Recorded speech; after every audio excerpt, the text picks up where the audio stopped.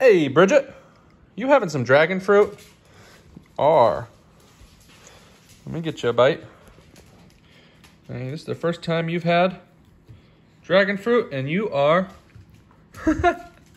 jumping at it. That's pretty good stuff, huh?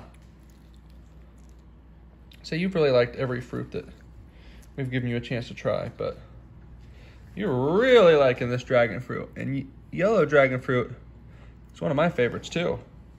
It's Uncle Brandon's too, huh? It is. You like that one? Yep. Uncle Brandon in town for a little bit, few little while.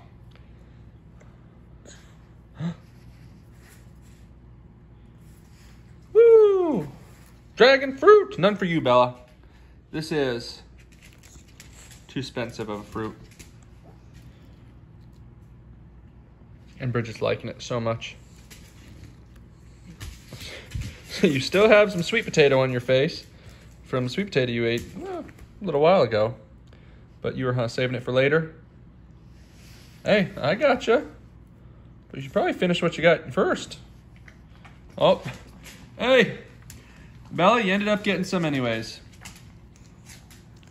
All right, Bridge, one more bite. Woo! Oh, you missed. I'll take it to the end of the spoon for you. There you go. Woo! Dragon fruit is a winner.